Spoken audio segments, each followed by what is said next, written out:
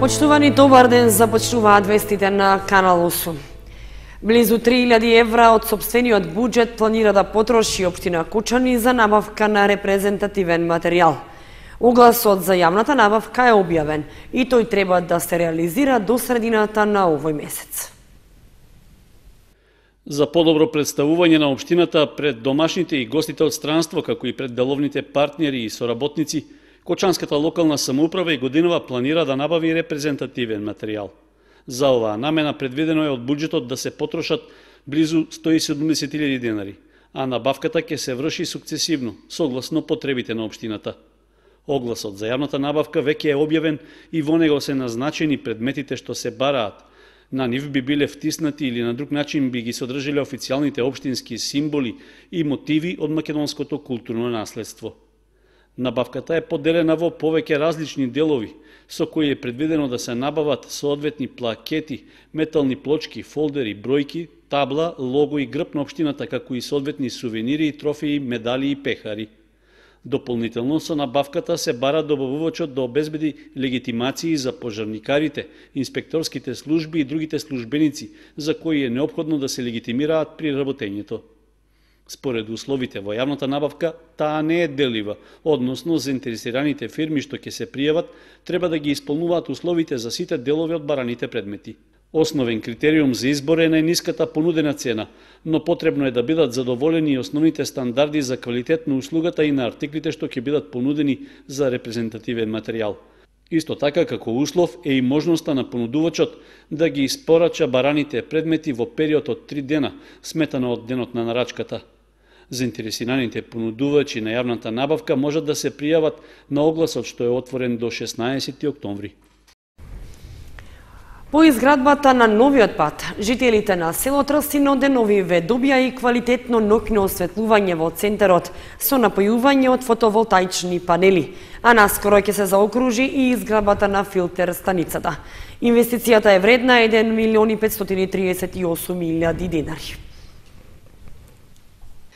Подрачното училиште во село Трстино, во кое учат 35 деца и градинката која е во склоп на училиштето, ќе штедат на сметките за струја. Монтажата на 32 фотоволтаични панели на кровот од училишната зграда треба на ноемвриските сметки за струја да покаже минус 50% заштеда. Покрај заштеди, училиштето, црквата и игралиштето се и комплетно осветлени во текот на нокните часови. Овој проект е финансиран од страна на Светската банка, тоест на преку Министерството за финансии, а каде што тие инвестираат 75% и 25% е од финансирана страна на општина Виница.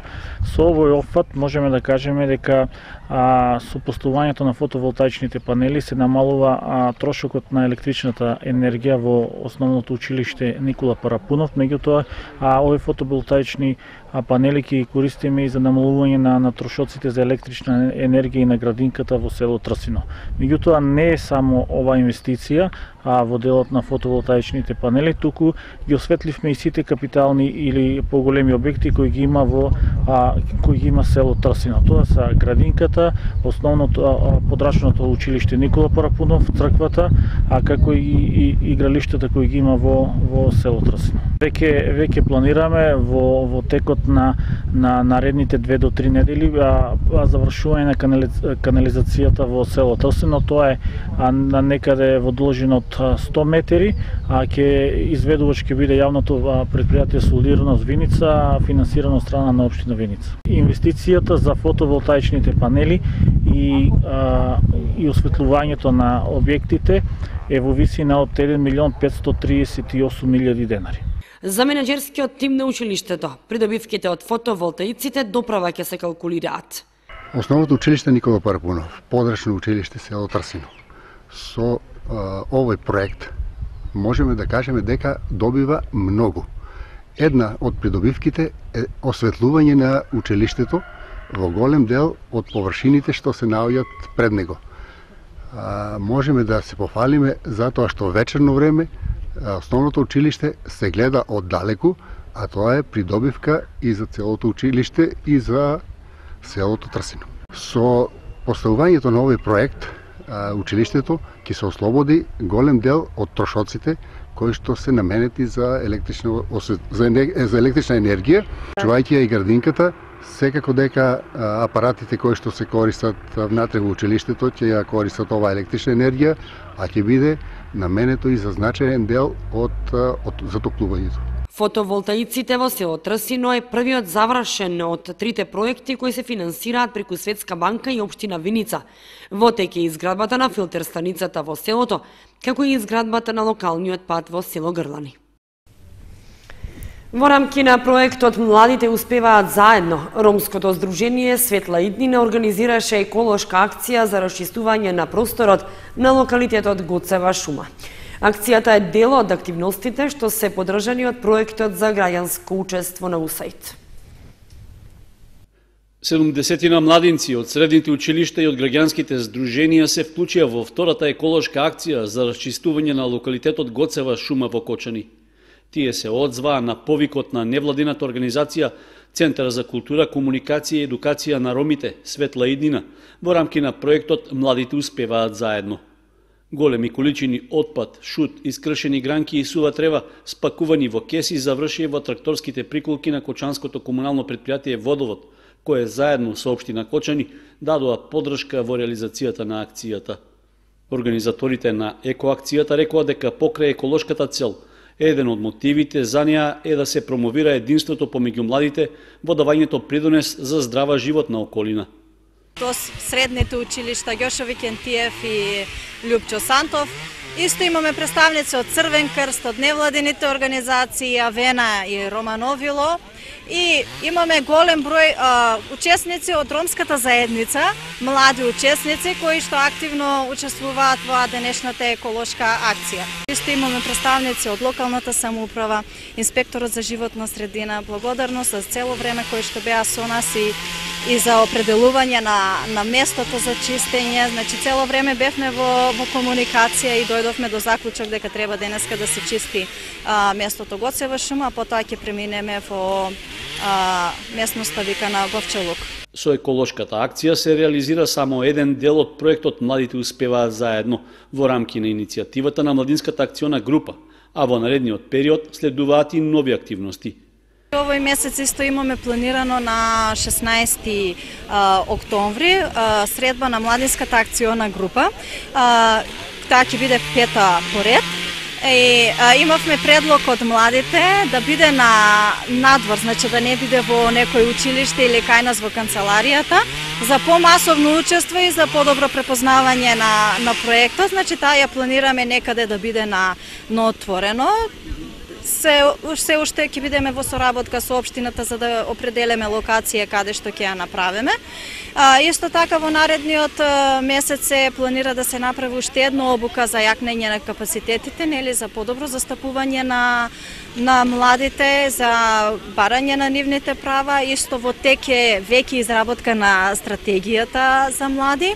А, предходниот месец исто така произлезе и краткиот документ за политики за млади, Policy Brief. Младинската акциона група е неформално тело за организирано делување на младите во општина Кочани, а проектот на Центарот за култура, комуникација и едукација на ромите Светла Идина, во кој што е вклучена и таа, ќе се реализира до крајот на јануари идната година.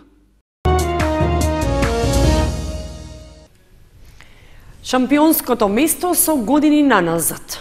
Лиле Мицовска, член на Сдруженијето на телесни инвалиди мобилност од Кочани, повторно прва на државниот турнир во пинг-понг што се одржа во Кавадарци.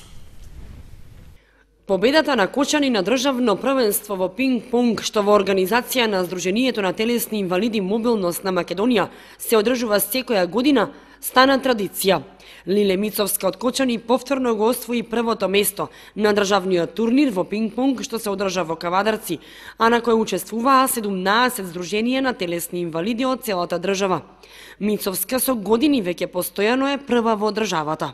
Ја сама од офисија, земав медаљата, мислам тоа а, кога човек ќе се искаче на врво на некоја планина и после му е убаво тамо, нели? А, и Јака е конкуренцијата, јака е, меѓутоа, кога веќе со години си државен првак и не сакаш никој да ти го земе едноставно местото, нели? Мислам, не сум толку себична, меѓутоа, спорто е надпревар и Јас сакам да се надпреварувам и сакам да бидам права.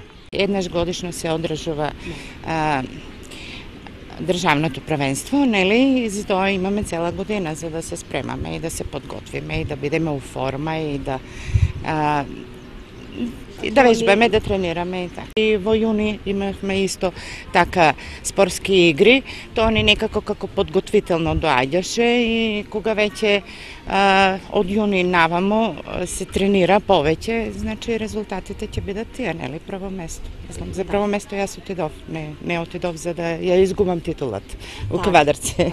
Отидов да си ја задржам, да си ја зачувам, да ја потврдам. Пинг-понго мислам дека малку е застапен кај жените.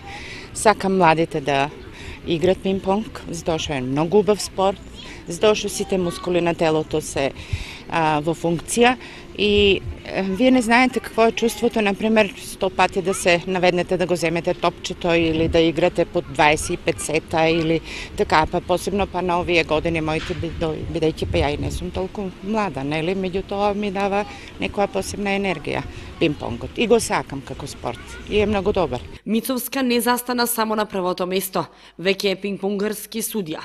Таа вели дека од година во година се повеќе се победуваат предрасудите да инвалидните лица учествуваат на вакви и слични надпревари, така што годинава земале учество и доста млади лица со телесен инвалидитет. Има веќе неколку деца, млади деца што учествуваат. А, оваа година имаше и глуви, и глуви кои што и видов четири девојчиња што стварно вежбале и постигнаа добри резултати, така да надам се дека другата година ќе бидат уште подобри. Мицовска не само во пинг-понг, таа е добра и во кулинарството. И често учествува и на манифестацијата Тортијада, што традиционално секоја година се одржува во Струмица. И за таа прилика подготвува прекрасни специјалитети и торти и е меѓу најдобрите во државата, со освоени први и втори места. Оваа година од оправдани причини нема да учествува на таа манифестација, но и понатаму секојдневно вежба и живее со пинг-понгот како спорт. И нема да го напушти се додека е во добра здравствена состојба, вели Мицевска.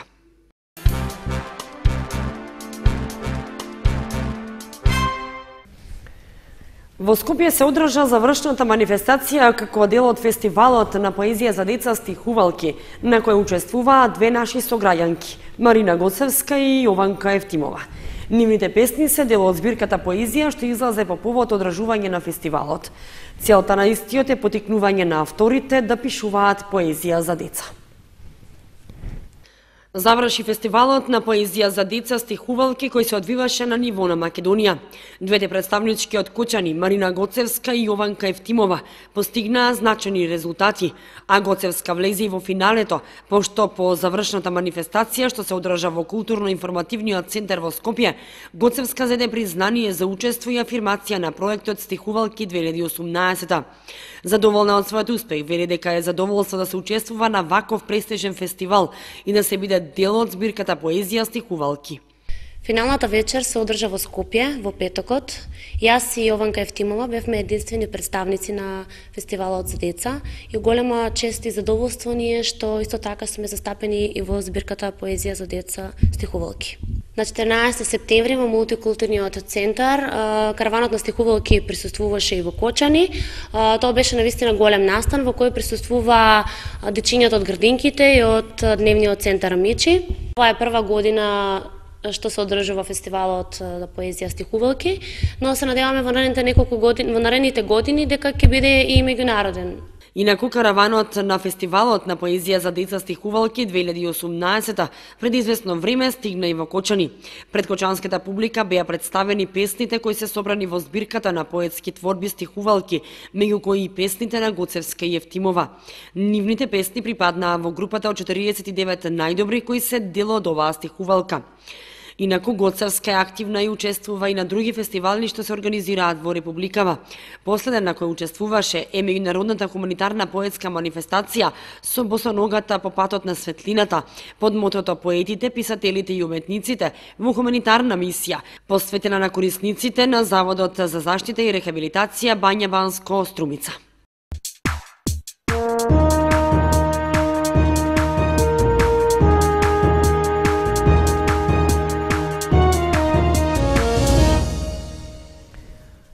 Информацијата од спортот. Екипата на Баскет Дино го освои второто место на кошаркарски турнир на најдобрите младински екипи што се одигра во Скопје. Викендов пак ќе започне правенството во втората кошаркарска лига Исток, во која ќе се надпреварува и нашиот тим. Младата екипа на Баскет Дино, која се надпреварува во М14 лигата, го освои второто место на кошаркарскиот турнир што се одигра во Скопје, а на кој настапија најдобрите четири младински тимови од државата. Кошаркарите на тренерот Сашо Лазаров, кои се во одлична форма, во финалето загубија од победникот Работнички, кој беше и организатор на турнирот. Според информациите од нашиот клуб, до победата домакините дошле по цврстата одбрана и прецизните контранапади на младите кошаркари на Баскет Дино, кои сепак до крајот не успеале да им се спротистават на своите врсници. Со тоа не успеа и да го одбранат победничкото место од минатата година, кога учествуваа на истиот турнир. Сепак, ваквиот резултат е повеќе од задоволителен. Веднаш за нашата екипа се пласираат тимовите на ФМП Академија и Вардар од Скопје. Инаку, викендов започнува и правенството во втората кошаркарска лига Исток, во која ќе се надпреварува и баскет Дино. На стартот, во првото коло, нашиот кошаркарски второлигаш ќе биде домакин и ќе ја пречека екипата на Спарта од Скопје. Со оглед што Скопјани минатата сезона се надпреваруваа во третата лига и беа последно пласирани, може да се очекува дека токму со овој дуел Баскет Дино ќе прокнижи први бодови и успешно ќе стартува во второлигашкото друштво.